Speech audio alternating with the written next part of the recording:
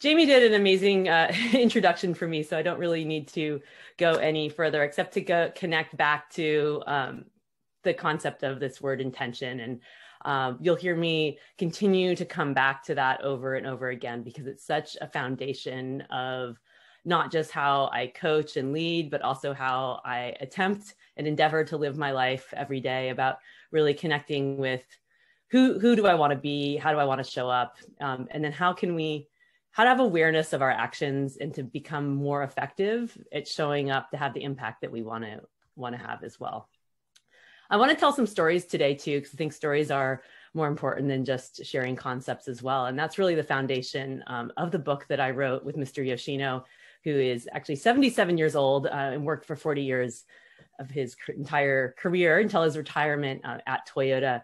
At some really important inflection points in Toyota's history he joined in the late 1960s as a new college graduate and spent his entire career there helping support many of the Toyota senior leaders as they were learning how to, uh, what it means to lead in the Toyota way. So what, uh, what we sort of take for granted as lean foundations and lean leadership really was an intentional um, effort by Toyota's senior leaders and leaders at all levels to continue to reinforce the way of thinking and the way of acting that we sort of um, just assume is sort of part of their culture. But it does require, as Mr. Yoshino often says, a retightening of the belt and intentional focus to make sure that practices continue.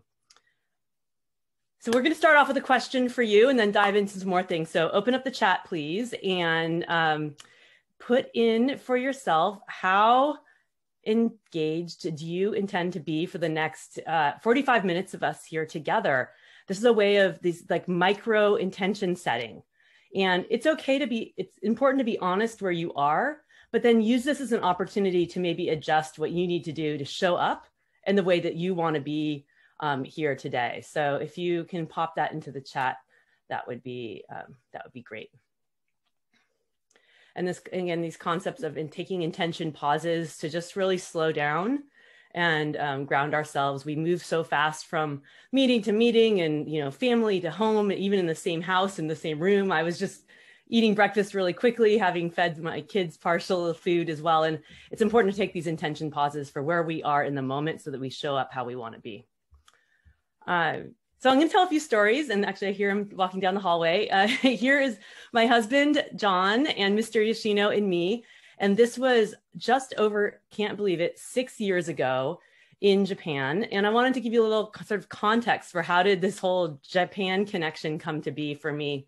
Um, little back history. I, as Jamie said, I came from a background in health, healthcare. I actually started my career in academia doing health policy research moved to Australia, did my master's degree, and at that point decided to make a bit of a career shift. Um, I love learning and I love that aspect of research about kind of going deep into a, a topic and sharing learning.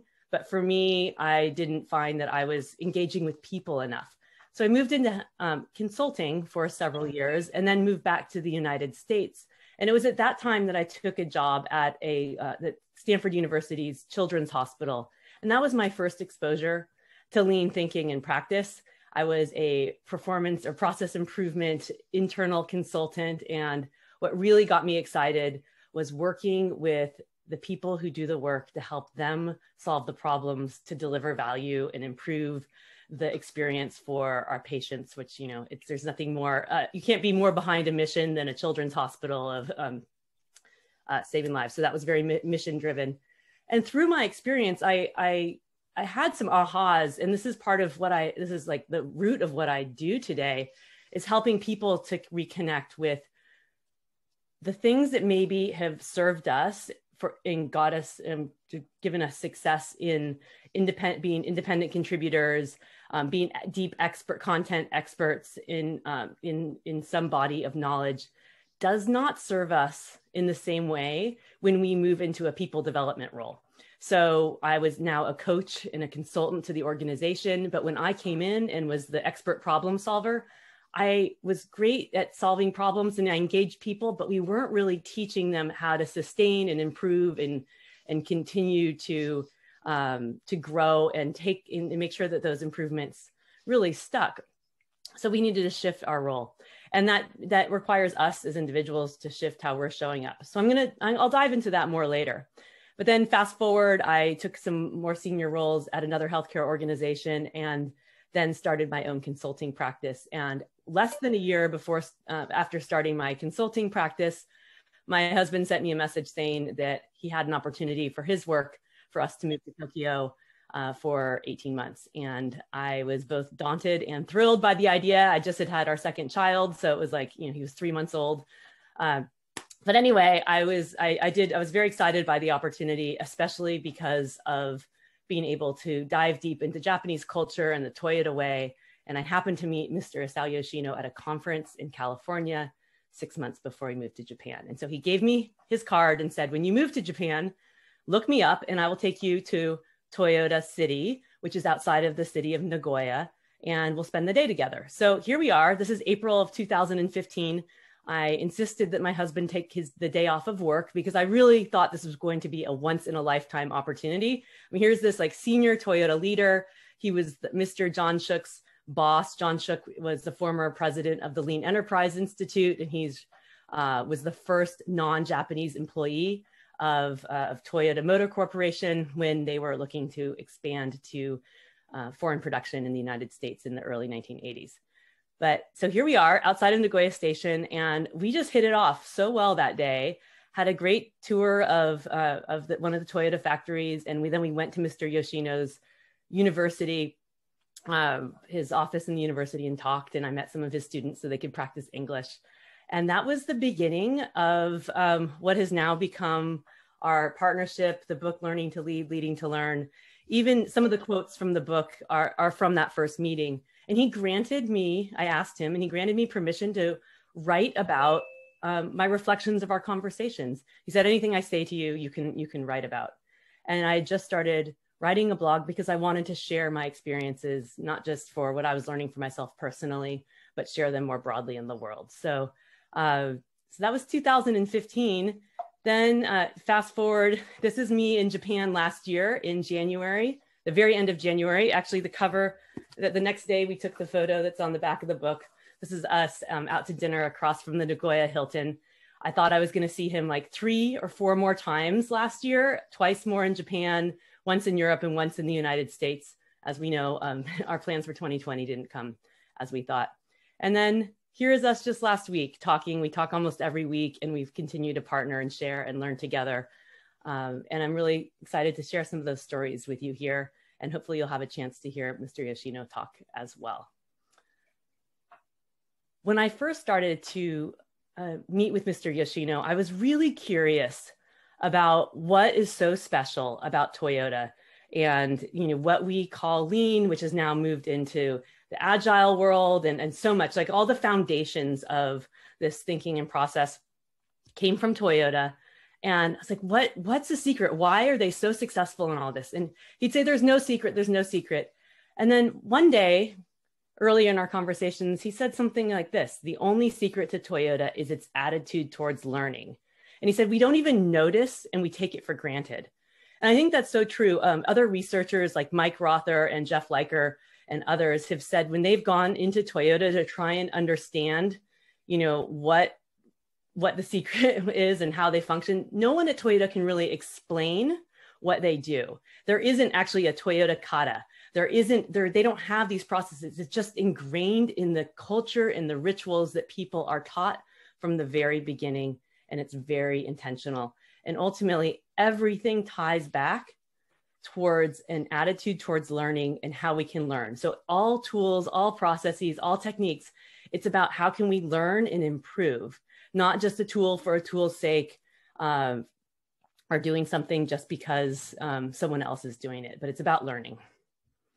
And so I think it's really important for us to remember when we're trying to develop learning in what in whatever format in the organizations and the people that we're supporting that we need both technical problem solving skills technical tools processes capabilities and we also need the social skills about how do we coach and develop people so that they're more effective at using the tools at problem solving and um, we often think of things as either or So I want to talk more about that because this is the sort of the foundation of, of the talk here today is that we need to harness the power of the word and. We often think of it's either this or that. But how about if we bring things together and see the word and? So we think we either need to be telling or asking, we need to be an expert or we're a coach. We need to either challenge someone or we're supporting them or really focused on the business outcomes at the expense maybe of people development or people development at the expense of business outcomes. So how can we shift our mindset to doing these at the same time and learn to see these as continuums and what we need to do for each of us is get more uh, this is where the art of leadership comes in and the art of coaching is where do we need to be on this continuum in the moment to be the most effective to help other people move forward and for us to move forward in problem solving as well. So there it's not either or it's and and it's about navigating the continuum as it's most relevant and helpful in that moment. And we're going to talk a bit more about that here. So Jamie already shared um, my one of my favorite slides about the word intention. Here's my giant Daruma that also has the word intention on it. I had this made in Takasaki a town um, outside of Tokyo where most of the these paper mache darumas of all sizes are made. And I had the word intention put on it for me because it's such a powerful, powerful word. And actually I have a slide later, but I'll tell you now. So if you, these dolls represent the um, Japanese saying, fall down seven times, get up eight. And they're weighted at the bottom. So I can't do it very well in my hand, but they will right themselves back up. And when you have a goal, you fill in one of the eyes. And then when you achieve your goal, um, you get to fill in the other eye. And it's really about, you know, I liken it back to this concept of perseverance and intention. You need to be make visible your goals and your intentions and then persevere, keep getting back up, learn from your failures and mistakes and keep keep moving forward. And then I that's why I love the, the Daruma dolls. So again, the symbol of heart and direction. So we often hear the word intention and it's more just like, what do you intend to do? But I see intention is more powerful when we say, what action are we actually going to take to fulfill that intention? So when we couple intention and action together, that's where the power comes in. And it's about really understanding what's who do we want to be and how do we want to show up. And I see some differences between intentions and goals. Again, atten- intention is really that connected with this heart internally inside of you. Who do you want to be? What's important to you? Your values. And then goals are what do you want to achieve more externally to yourself? And both are very important, but it's, uh, it's sort of helpful to have that distinction for yourself as well. So, in the spirit, and that was a lot of information. I'm going to dive into the book now, but into the spirit of this concept of Hansei, which is reflection, and we learn by processing and actually making our thinking visible. I'd like you to reflect for one moment and put in the chat what is one takeaway you've had from this section or this first part of our, um, our, our presentation here today?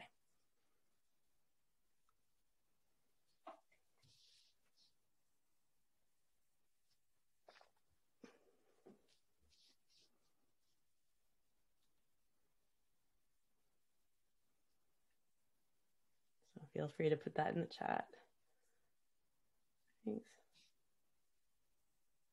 Great. Culture is doing open mind minded learning, fall down seven times, get up eight, aligning our heart with our goals, have an attitude towards learning. Great. Keep putting that in. Um, it's great to have that connection. All right. So I'm going to transition to my experience more with Mr. Yoshino now and some stories from the book. And I mentioned earlier that the first time that I met Mr. Yoshino was actually uh, six months before we moved to Japan. And he and I, it was total serendipity. I was, it was my first professional conference after having our second child. And I was uh, teaching a workshop with my, my mentor and um, coaching partner, Mar- Margie Hagene. And uh, Mr. Yoshino happened to be in LA and John Shook invited him to come speak with him on stage. And so they were talking about their experience of working together with Mr. Yoshino, actually is um, the senior manager, two levels above John Shook and, and John about uh, their time together in Japan. And Mr. Yoshino totally destroyed any preconceived notion I had about stoic Japanese senseis. He was up on stage, just very jovial and warm, which is genuine to who he is. And he he was actually even joking about how he was he had forgotten underwear. And so he was actually at the moment john shook called him on the um, to invite him to, to come to the conference he was driving around la looking for a walmart or something. So i thought that was um, it showed a lot of humility and just his, his real personality. Anyway he also said some very profound things. And this one comment he made has really changed so much for me or not changed but it just his his um, influenced me tremendously and is now what i consider sort of the foundational um, leadership principles. And he said, My aim was to develop John by giving him a mission or target and supporting him while he figured out how to reach that target, while he figured out how to reach the target. and as I was developing John, I was aware I was developing myself as well. And it's like, this is so you know profound and simple that the, the leader's role or the purpose is just is to set that direction that is the leadership responsibility then provide support to help enable people to move towards that direction. And at the same time, you have to develop yourself. It's not about all these other people. Yes, you need to help them develop, but you also need to first start with yourself. And so I want to talk to you about each of these components and, and the stories within in the book actually show that it's written in the arc of Mr. Yoshino's entire career. So you get to see his own learning journey across these dimensions as well. So uh, a leader's role is to provide a challenge, direction, or target. So this is, you know, one of the things, the sorry, my chair is really squeaky. one of the biggest challenges I see in problem solving, well, there are many, but that when I'm working with teams in particular, that when we're defining what a problem is, which is target minus actual is the gap or the problem we need to close, that um, people often say, I don't know what actually should be happening. I don't know the target. I don't know the goal. And that's really up to um, the leadership team to help clarify and set that. Yes, other people who do the work can help identify and, and, and provide input into that. But ultimately, leadership need to say what should be happening, where do we need to go? And that then enables people to do problem solving and really define a problem. Mr. Yoshino always talks about how targets should be determined by what is needed, not by what is achievable. So what this means is, and, what I've taken is, you know, what, what do our customers actually need? And that should be our, our ultimate challenge target. Maybe you have set interim targets along the way. But my experience, I have sat in too many meetings, and I'm, I'm sure you have too, where there is a discussion of, oh, what can we achieve? And we set targets that way. Or, oh, it's probably not possible for us to do X, Y, and Z. And so we let that influence the target setting or the goal setting or the challenge setting. And that then doesn't allow us to push our thinking, to stretch us, and to um, be actually true to what should happen. And I came from healthcare. So ha- talking about how many falls should be acceptable in a day or how many, you know, preventable errors, like, no, zero should be the, you know, the, the answer. And so how do we change our mindset from what we know we can achieve to really what is what is needed? Because and if we go back to this concept of the attitude towards learning it's what you learn from the lessons of not reaching your targets that make you smarter. However what this also um, means is we need to have a culture that welcomes and embraces failure and mistakes and is not punitive. And where leaders are and everyone is seeing um, us not reaching the goal as not a bad thing, but actually as our opportunity for learning. So these have to go hand in hand. So the second part of a leader's purpose is to provide support. And I like to say this is where we start to talk about the, the ands. It's providing that direction and that challenge, that challenging target. And we have to provide support to our people. If we don't do both, then we're really just like throwing them out into a super challenge, like that's that's disrespectful to our people. We need to be there to help them learn how to problem solve, to remove barriers, to support along the way. And it's this fine line of how do you balance both pushing people into something that might feel uncomfortable, yet providing that support. And sometimes you may have to provide more support and less challenge, and other times it's more challenge and less support. But how do we do and challenge and support? So leaders own create the creation of the structures and processes for learning. So we can't help other, we can't make other people learn or make them improve, but we can allow them the opportunities and the um, enable them to have situations that allow them to learn. So, how do we create space that gives people opportunity to learn where we're not seeing everything as a crisis that has to be fixed now, where we're rushing in and giving answers, but allow people some time and space for thinking and for some failure along the way as well. Because it's that process of learning that is really important. There's um, actually there are two stories I want to share right now. Uh, first is about how uh, when Mr. Yoshino joined joined Toyota, there was uh, he was 22 years old and he was put out in the gemba. The gemba is the word for the place where the work is done. He had he was going to be in the back office doing you know uh, you know desk work, but he was put in the front line of the the, the car manufacturer and he was assigned to the paint shop. And his job was to pour paint and solvent into a big vat that then they would spray the paint the cars coming down the line. And one day, and he even admitted it got kind of boring. One day he he met, he he made a mistake, and the, one of the shop floor managers came running up saying the paint wasn't sticking to the cars. Over a hundred cars were going to have to be repainted, and he was thinking, "Uh oh, you know this is this is this is not good." And instead of yelling at him, the managers came over and said, "You know, show us what you did." and he did he showed he showed them and it became very clear that the, the can of the paint and the solvent looked very similar not only did they not blame him for the mistake they thanked him. They said thank you for making this mistake.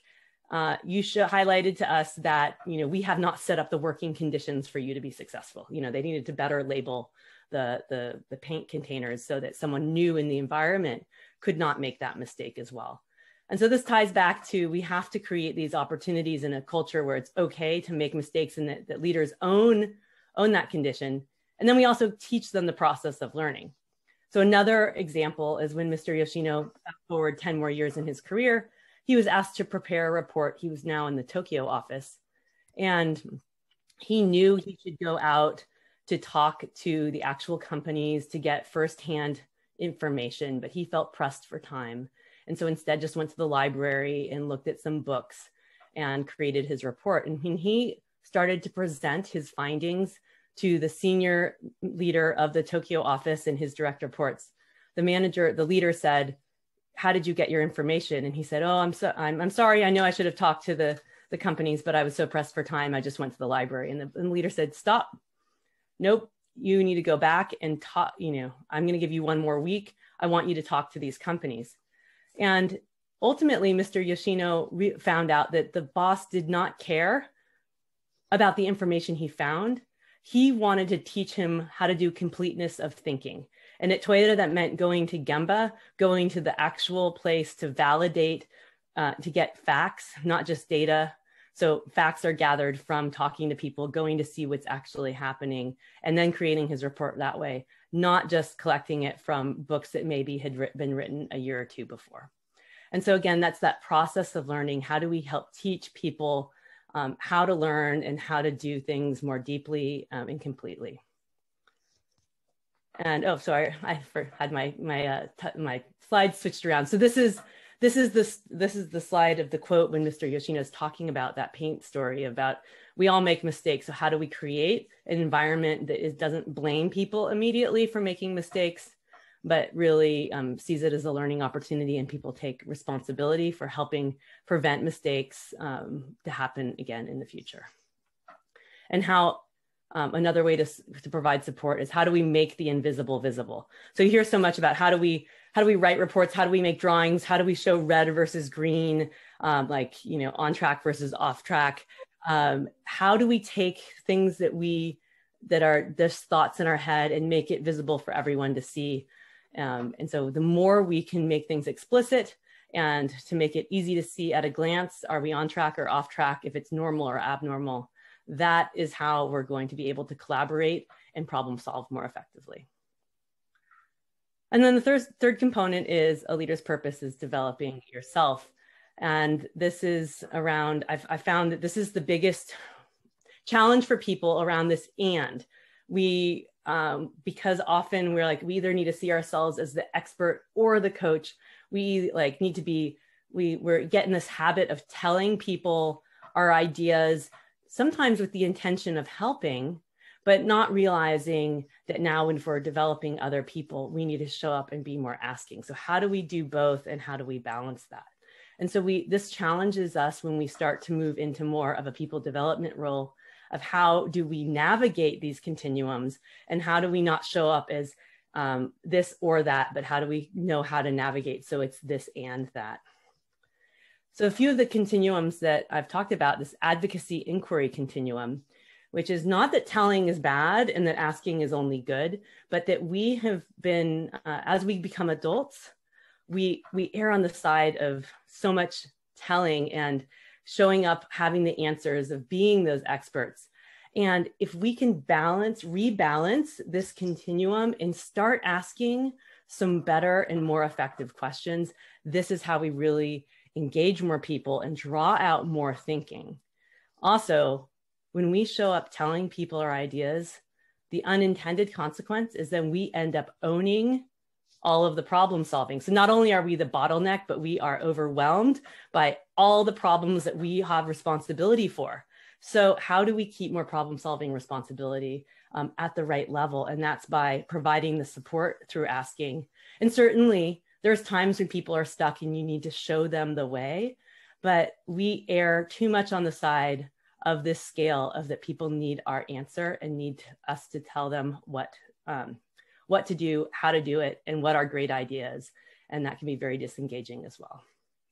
And again, this is how do we how do we own our expertise? So most of you have some expertise that you have been trained in or developed in, um, but when we show up as the expert problem solver, we then take over that responsibility for the problem solving as well. So these two continuums are very tightly connected.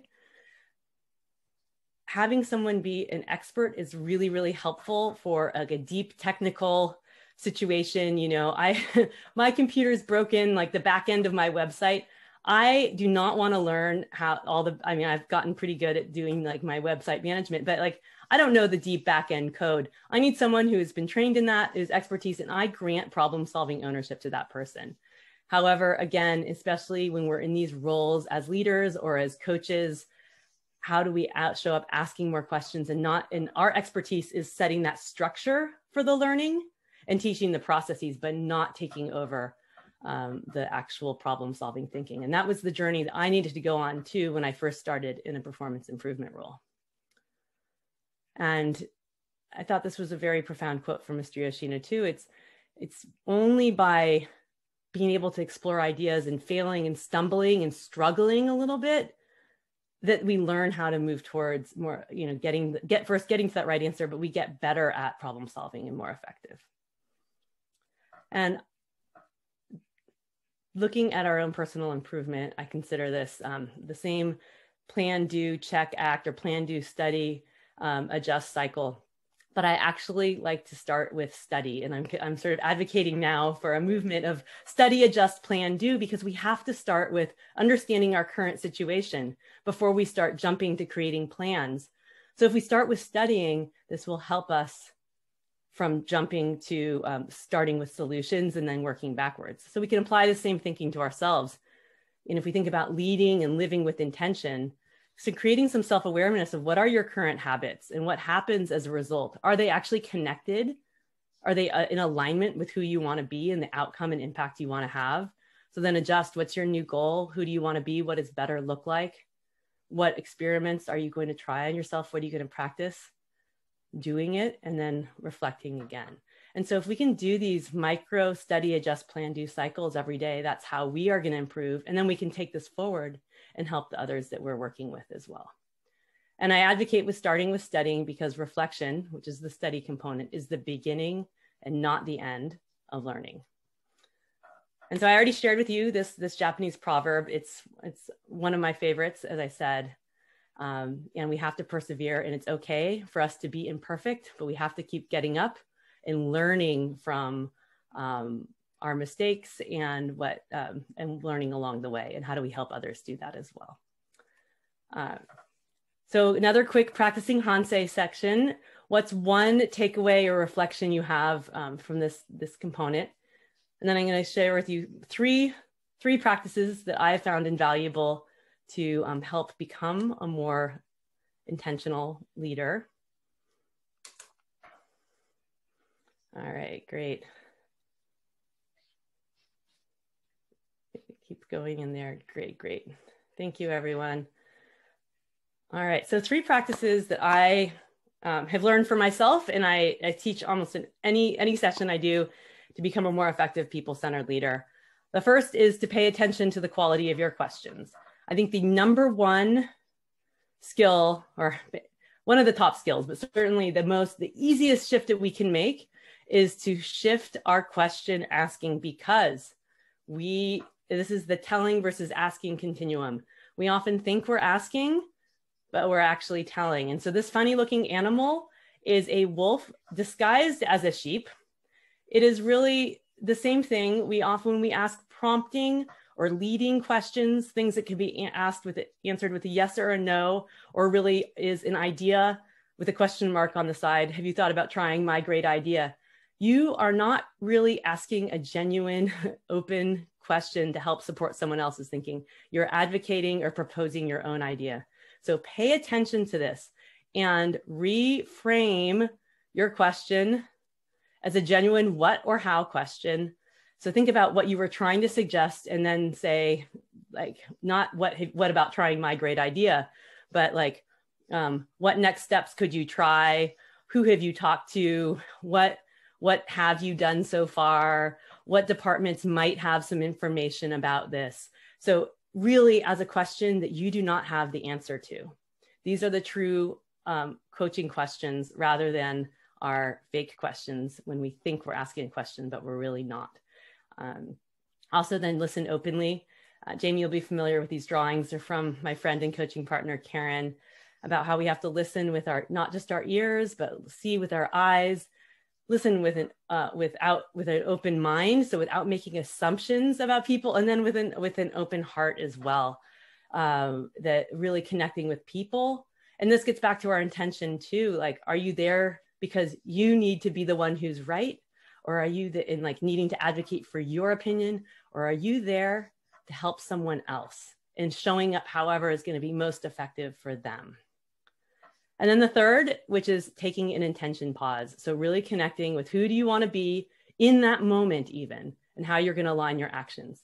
Sometimes you are the leader that needs to set the direction or you're the parent at the time that needs to like be very clear on these are the expectations. These are the times where you need to be telling but there are other times where you need to be more um, thoughtful and asking more questions and um, listening more more patiently. So this helps us align with who we want to be in that moment so i, I really and this can be 10 seconds between transitions between zoom meetings or walking into another room this has been really an uh, accelerator for me personally and for others as well so i want to go back to these leadership continuums that it's not about asking or telling it's knowing when to ask um, and when to tell. It's not about being a content expert or a coach to help someone move forward. It's knowing about when someone needs your knowledge and when they're better served by creating their own. And actually, when we ask questions, we can then understand where people are on that scale. It's not just providing a challenge or supporting them, it's understanding when and how to both challenge and to support them to move forward. And it's not just about focusing on business outcomes only or people development only, it's how do you do both at the same time? So, how can we shift our thinking from or to and and learn to navigate that continuum? And to remind ourselves that learning is never perfect and it's never complete, and that's okay in our imperfection with that.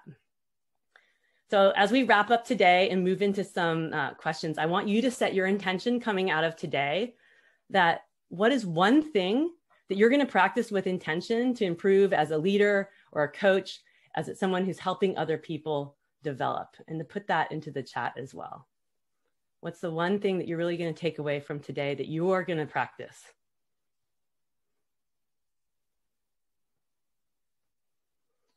Yeah, questions, questions, great. Pay attention to the quality of your questions.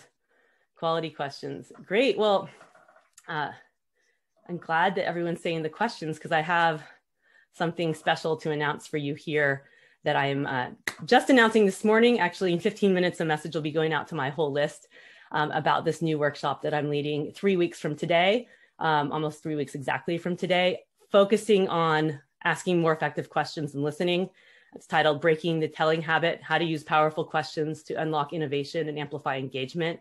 And for one week, I have a 20% off um, coupon or you know code that you can use to register.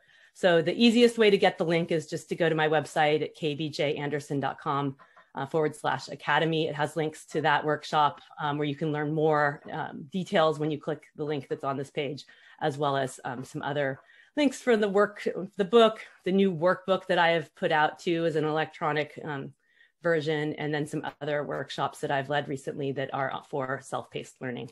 Um, and most importantly, I really would love to connect with each and every one of you. Please reach out to me on LinkedIn or Twitter.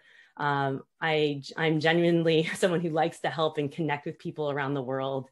And however I can show up to be helpful to you, to continue your learning journey, um, is really meaningful to me and allows me to fulfill my purpose and my intention in life. So I'd love for you to join me in the um, in the workshop um, or some other thing in the future as well. So I will pause there and then we can have a, some discussion until the top of the hour. So does anyone have any questions for Katie? I think we're we're yeah. a group of about 40. I, I, I think you can go ahead and just um, just just raise your hand or or call out or yeah, or just works for you. Or or comments. Yeah, I'd love to hear anything, just reflections, questions, what you what this made you think of, anything.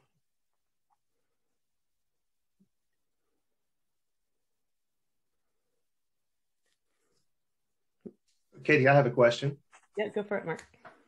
So, what resources do you have to improve the quality of our questions? I have, um, there's, I've written a few blog posts. So, if you go on my website and, and Google questions, I have some downloads and some articles that really go deeper. Of course, then join me in the workshop because there's going to be an hour of the actual practice as well. And so sometimes you really need that that opportunity to practice and get feedback. So this is why it's a live workshop um, and it will include um, an hour of practicing, asking questions, giving feedback, listening, and uh, hopefully helping you solve a problem as well. But I do have other uh, resources on my website as well if you want to go there and just um, look in the search bar. Thanks. And I have linked Katie's website in the chat for those who are looking for it.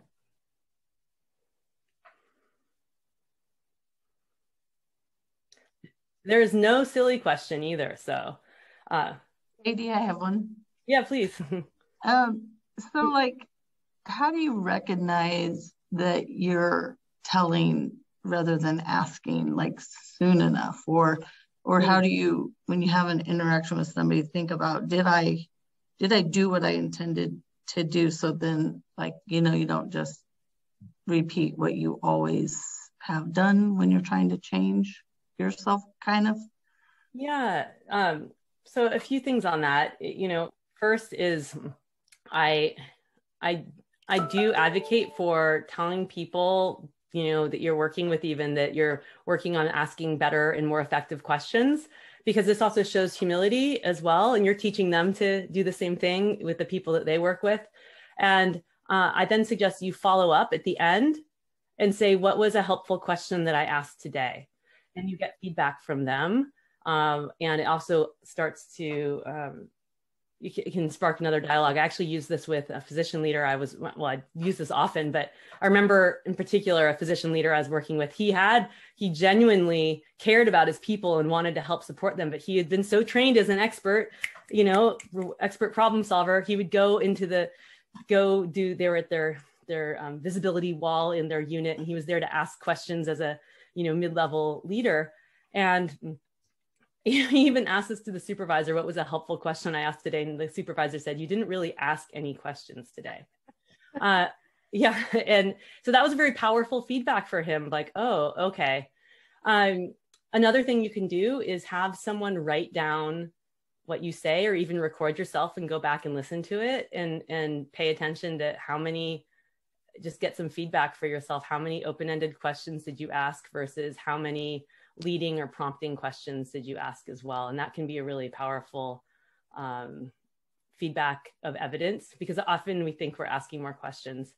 and I even I have been working on this for, for years for myself. I've gotten way, way, way better. But I like leading questions come out of my mouth all the time. So as I'm starting to like, if I hear myself at starting to even say a leading question or you know or a prompting question and it's not some you know in that moment i'm actually wanting to genuinely hear what the other person's saying rather than introducing my ideas. I'll i'll literally pause mid you know mid phrase and rephrase it. So feel do that and just say oh actually i want to rephrase that. Here's a here's a better question for you. So it's um, those are a few tips that i have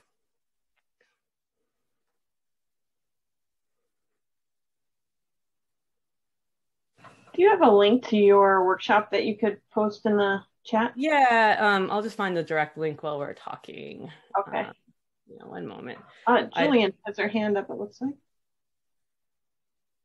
Yeah, I have a question. Going back to this idea of setting the direction, um, when you're at a table full of people who are focused so intensely on um, achievable, um, and how do you how do you move the needle when the room just only wants to focus on what we can do versus what's actually needed. What do you have can you say a little bit about that?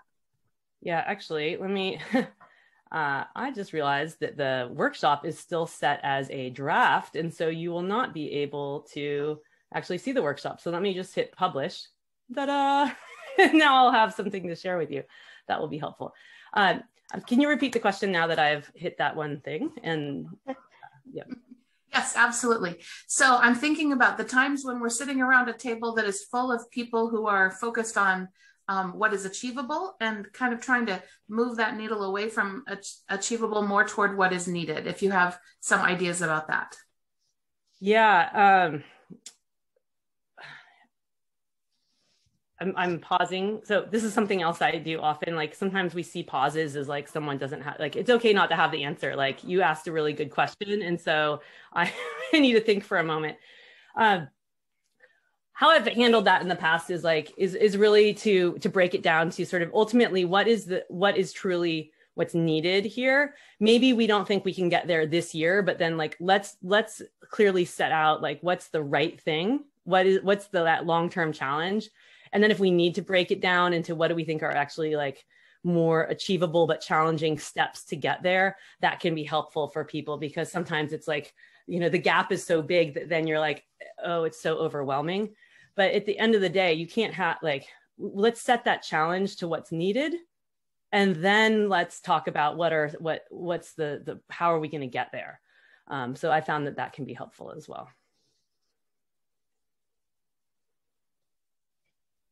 I don't know if that totally answered your question, but that would that would be uh, one thing that I would do.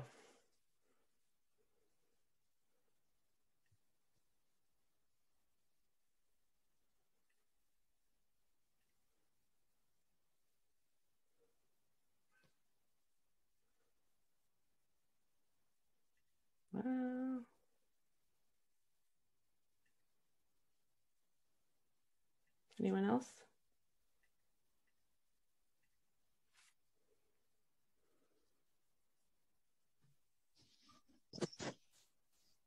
What advice would you give um, someone just starting out with a brand new team um, that you've been working with a lot of um, individuals who um, are kind of stuck in their ways and haven't have a trouble uh, adopting a new way or a new process about building um, or going about building their projects? Yeah, you know the um, the very first thing I've, you know, that that's a that is a big that's a big question, but I to to at least get some shared first work on team relationships and so getting to know each other. This you know, we need to especially in a work environment, we tend to just sort of jump into the work side, the problem, the out, the business outcome that we need to achieve um, without necessarily understanding who each other are. So how can we do some of that team building? At, first, and then work on getting sort of at least some shared alignment and agreement on sort of what is our purpose as a team what are the you know things that we need to achieve together and so that there's there is some um, shared understanding together. We can all be moving maybe not in one it's not going to take one one session or one meeting but working both on creating connection with people and then creating alignment on where do we need to go or what's our goal and then we can start working together to do the problem solving. Um, would be where i would um, get started. And again anchoring on like what's the value to the customer? What's the like you know at, at children a children's hospital you know you had the silos of the doctors and the nurses and the administrative staff and everyone gets so focused on their their one area and everyone's there with a genuine heart. They really care you know. But if we brought it back to what does the patient need the patient and the family and kept the focus on that. That helped break down the silos as well so yeah so i'd say for who like what do your customers need and getting some like excitement around that and then that can um, that can help oh i was going to send you the link to the ah i don't know why my whole product thing let me um, I don't know why.